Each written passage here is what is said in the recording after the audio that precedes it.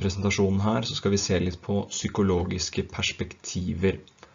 Og det er basert på et læreplanmål som er aktuelt i både syk 1 og i syk 2.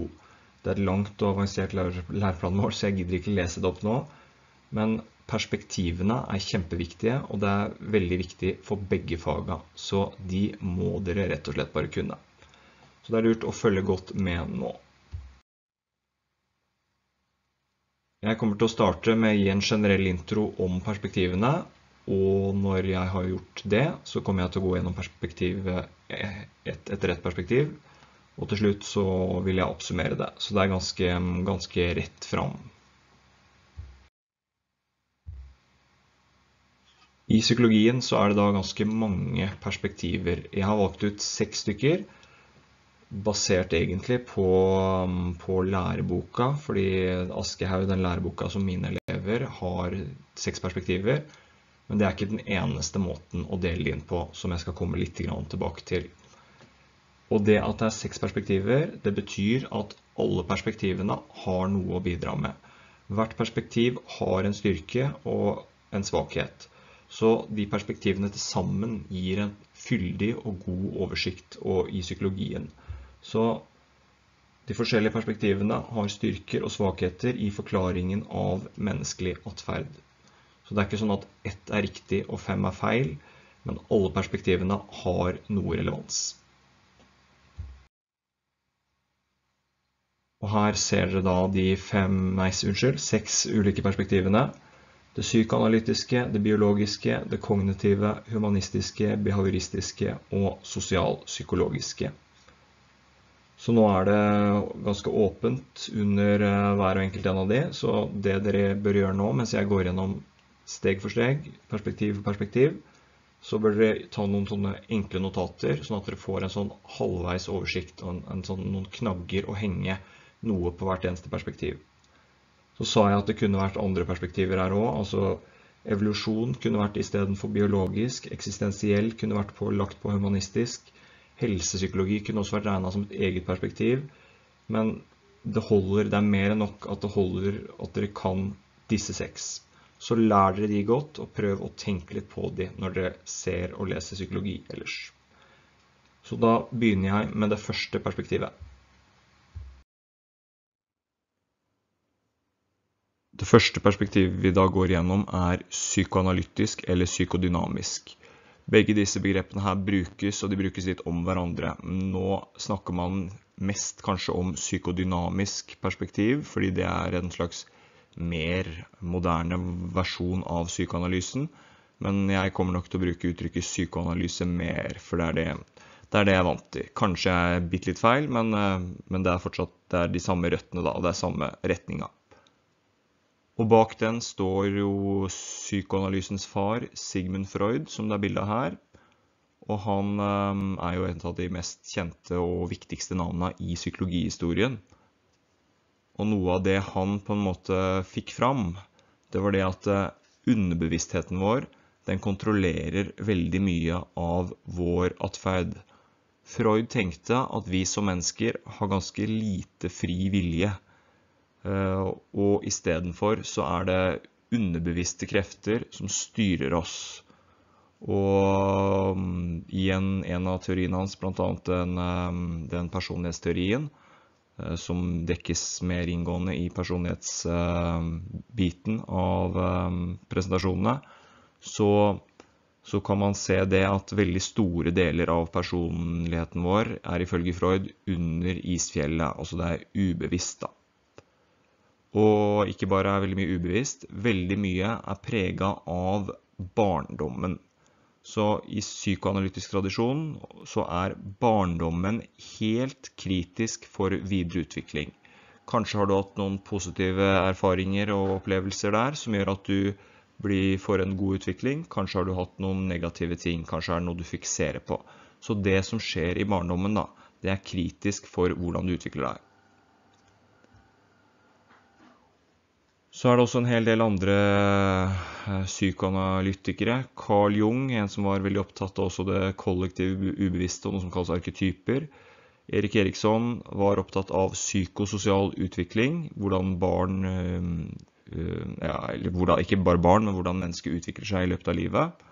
Og så har du også Ainsworth og Bowlby, som er tilknytningspsykologer. Som også da er igjen veldig tett knytta på barndom. Hva slags tilknytning du har på, i barndommen, vil være med på å utvikle hvordan du blir.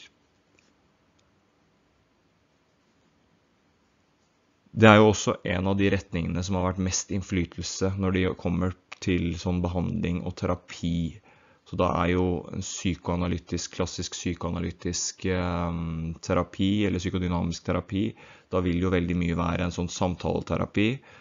Eh, veldig mange har sikkert sett at eh, man sitter Man har noe som kalles fri assosiasjon. Altså en psykolog sitter på en stol, og så kanskje en ligger på en benk for at man skal assosiere fritt. da. Men man skal komme inn til roten av det som plager en da, i underbevisstheten.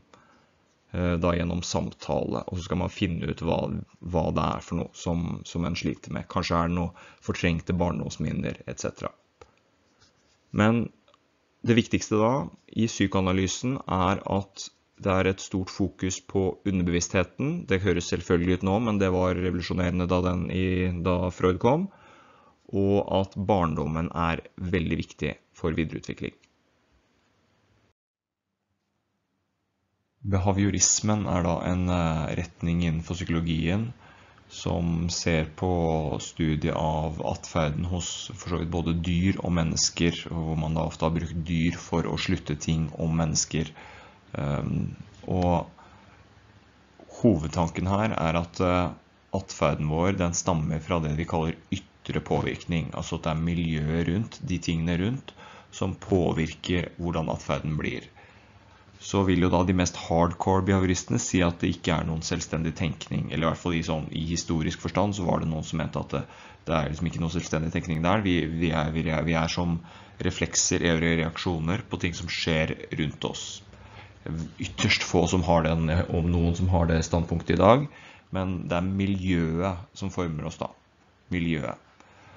Og behaviorisme var en slags reaksjon mot um, mot hvordan psykologien var, da spesielt kanskje med det psykoanalytiske og det generelt fokus på det sjelelige og bevissthet, og den tanken om at man kunne studere noe gjennom introspeksjon, altså at man kunne se på sin egen psyke.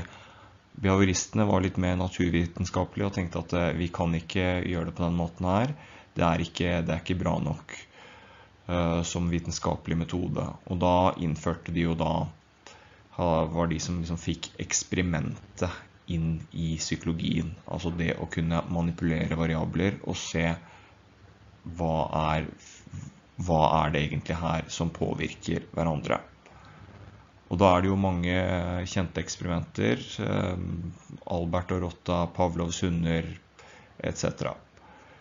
Et par eh, kjente begreper fra behaviorisme er bl.a. klassisk betinging, operantbetinging og imitasjon. Dette er sånne begreper fra læringspsykologien som det vil gå Skal ikke snakke så mye om det her, men i, eh, i presentasjonen om læring så kommer det mer konkret om disse begrepene.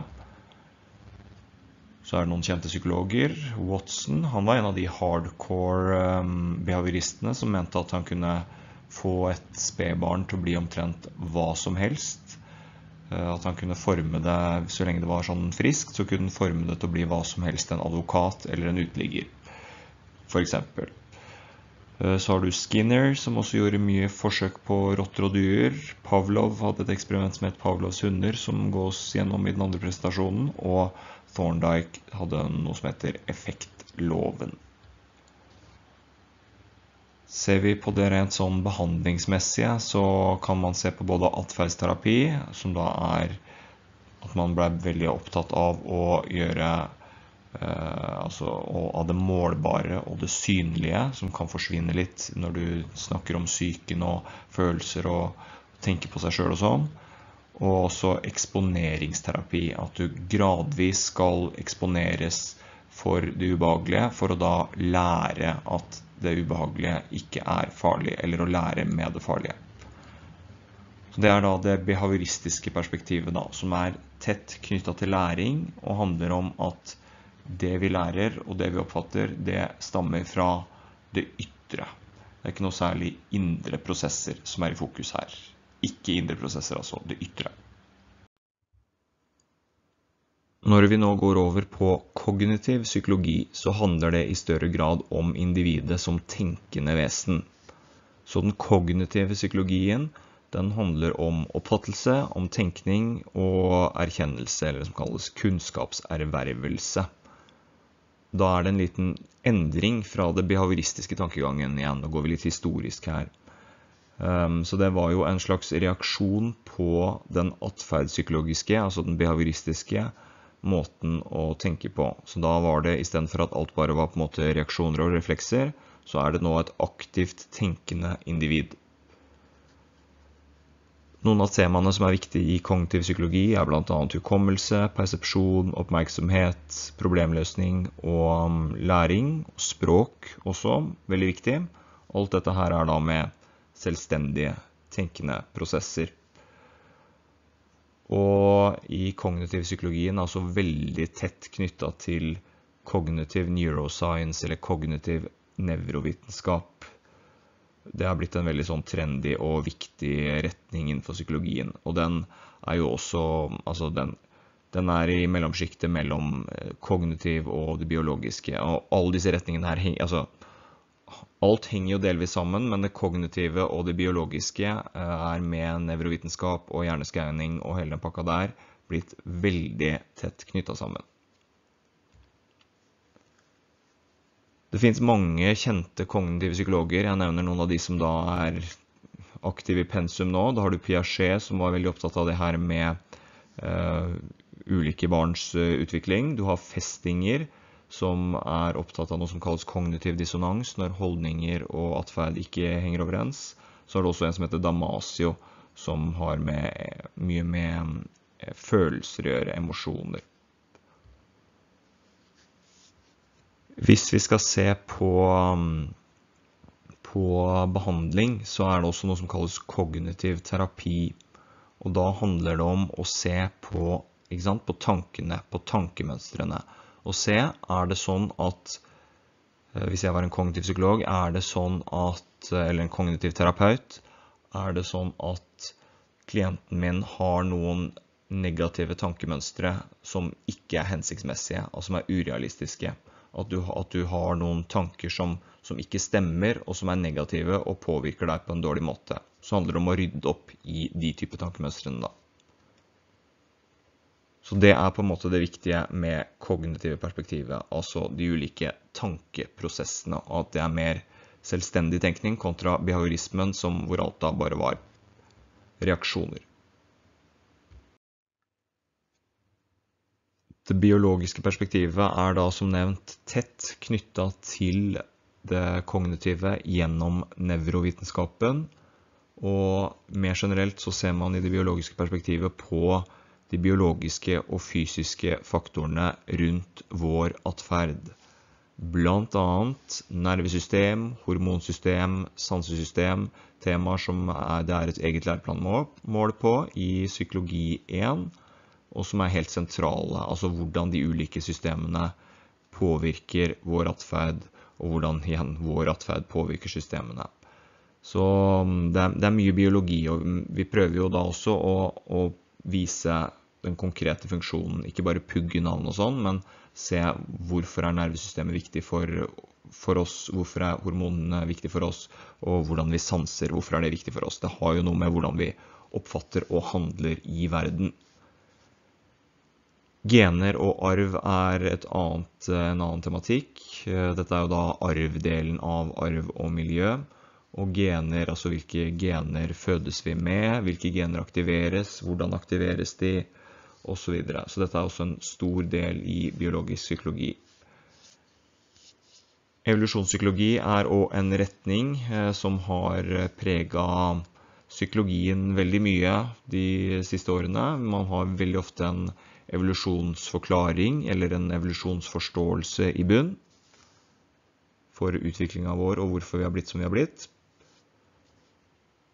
Knytta til uh, neuroscience så har du også hjerneskanning, som har blitt en veldig populær måte å forske på uh, hjernen og se ok, hvilke altså Det er ulike former for hvordan man kan skanne hjernen, men hva, hvor er det aktivitet i hjernen når du gjør noe? Så tenker du ok, det hjernesenteret er viktig for det og det.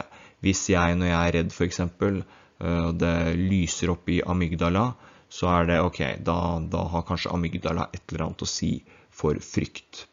Så det er en veldig brukt metode, da. Når det gjelder behandling, så er jo også biologi viktig. F.eks. hvordan ulike medisiner påvirker eh, kroppen. Så har du også noen sånne rene behandlingsmetoder. Det er en mer dramatisk er det en som kalles ECT, som handler om elektro, sånne milde elektrosjokk. Det høres, eh, og det er jo litt spesielt, og man er faktisk ikke helt Det er litt uklarhet i forskninga hva som funker og hvorfor det er. Men at det funker på noen eh, problemer, det er tilfellet, og, og, det brukes da. Men prøves jo, man prøver å bruke mindre drastiske grep hvis det er mulig. Så det biologiske perspektivet handler da altså om de biologiske aspektene ved livene våre. Det humanistiske perspektivet dukka opp sånn på 50-tallet, og det hadde som hoved... Eh, altså det viktige der var at det skulle hjelpe mennesker å oppnå sitt fulle potensial og å oppnå lykke eller velvære, da. Og da var det temaer som fri vilje, behov, selvrealisering og self-efficacy, eller det vi kaller mestringstro på norsk. Eh, og de retningene her var stort sett dominert av atferdspsykologer, altså behaviorister og psykodynamikere, psykoanalytikere. Um, og den, de retningene der ble regna som kanskje litt for negative. Derfor har man på en måte utvikla en mer, kan man kalle det, en mer positiv tilnærming. da. Og man tenker at hvert eneste menneske er unikt og har en iboende verdi og hvis hvert menneske er i de rette omgivelsene, så vil mennesket blomstre. Du har eh, noen kjente teoretikere her. Det er vel Maslow og Rogers tror jeg nesten regnes som grunnleggerne av eh, den humanistiske psykologien. Abraham Maslow har dere helt sikkert hørt om. Han hadde jo da denne behovspyramiden, hvor du både har fysiske og mer eh, emosjonelle psykiske behov. Og så har du også um, Carl Rogers, er kanskje ikke like kjent, men uh, han var veldig opptatt av utviklinga av en persons selvbilde og liksom, tilpasning og mistilpasning. Og han snakka veldig ofte om at du i en terapeutisk setting så skulle du se mennesket med det han kalte ubetinget positiv betraktning. Altså at du skulle se det positive i mennesket. Og eksakt hva det betyr, det er det litt sånn diskusjon om, eh, om hvor bra det er og sånn, og se folk ubetinga positivt. Men det er ikke så viktig. Det viktige er at dere husker de navnene. Maslow og Rogers. Og innen eh, humanistisk terapi så finnes det jo noen sånne ulike retninger. Men veldig mye av uh, alle retningene handler om det at du skal finne ut hva er barrierene dine for utvikling, og hva er barrierene dine for mestring, altså hva er det som hindrer deg i mestring, og så prøver du å fjerne de og fremme mestring og utvikling. Og da ser man jo f.eks. da ofte på de grunnleggende behovene fra Maslow. Da. Behovspyramiden som sådan brukes kanskje ikke så, så mye lenger, men de er fortsatt um, Forståelsen kommer derfra. Hva er det du har? Er det noen behov her du ikke får tilfredsstilt? Så det er på en måte hovedpoenget med det humanistiske perspektivet. Da kan dere tenke på menneskelig, menneskelig utvikling.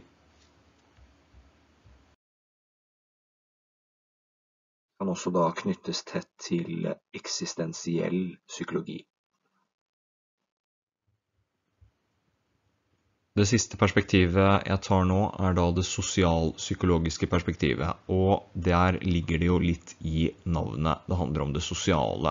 Så det er den delen av psykologien som handler om det sosiale samspillet mellom mennesker, og hvordan vi formes av verdier, holdninger, sosiale systemer og den aktuelle situasjonen. Med andre ord hvordan vi påvirkes av å være sammen med andre. Det er jo ingen mennesker, i hvert fall ytterst, ytterst, ytterst få, som vokser opp helt alene. Man klarer seg jo ikke som menneske ved å, ved å, ved å være helt aleine. Vi har jo sosiale behov. Um, så noen av temaene der er f.eks. sosialisering, altså hvordan oppvekst, sosialisering, ting rundt det. Grupper, hvordan påvirkes man med å være i en gruppe og på ulike vis. Holdninger og fordommer. Og det kulturelle, krysskulturelle. Hva er det? Hvordan er det å være fra forskjellige kulturer? Og, og hvordan, hvordan, kan samspillet være der da, når du er med andre mennesker som er veldig annerledes enn deg? Dette her er mer psykologi 2, eh, altså tredjeklassestoff i, i pensummessig, da. Sånn kort på behandling òg, så er jo gruppeterapi en, eh, et eksempel på hvordan man kan se på sosialpsykologiske prosesser i, i, en sånn behandlingskontekst. Og generelt sett så er det jo viktig med sosial støtte, altså da oppunder de sosiale behova, men det å kunne det å kunne dele med noen andre er jo veldig viktig i en setting der hvor man sliter. Det var litt kort om sosial psykologi. Så sa jeg at dere skulle notere ned, eller burde det. Og så har jeg likevel lagd en liten oversikt med de konkrete punktene, eh, viktigste konkrete punktene til de ulike perspektivene. Det endrer jo ikke det faktum at dersom dere har fulgt med og skrevet det ned, så er det mye mer sannsynlig at dere har lært det. Men dere kan jo se om de punktene samsvarer med det jeg har lagd her. Og hvis dere har hørt på det jeg har sagt, så burde det samsvare ganske så godt. Så da har dere noen knagger å henge på de ulike perspektivene. Og så er det jo da viktig å huske på at alle har noe forklaringskraft. Alle har noe å bidra med. Ehm, fordi ingen av retningene er alt klarende. Ehm, psykologer kan bruke forskjellige tilnærminger fra de forskjellige perspektivene.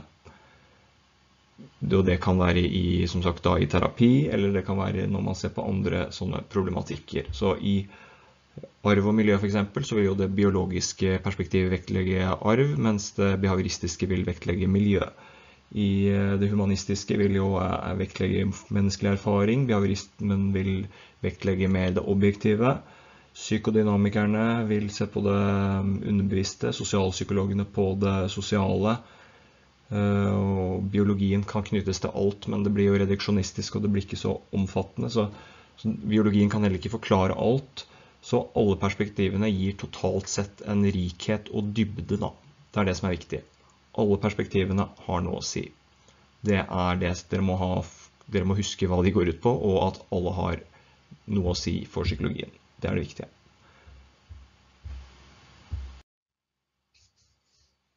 Kilden jeg har brukt, er eh, mye denne artikkelen her, samtidig som jeg også er prega av eh, Aschehougs eh, lærebok og noen sånne standard informasjonssider som dere også ser her.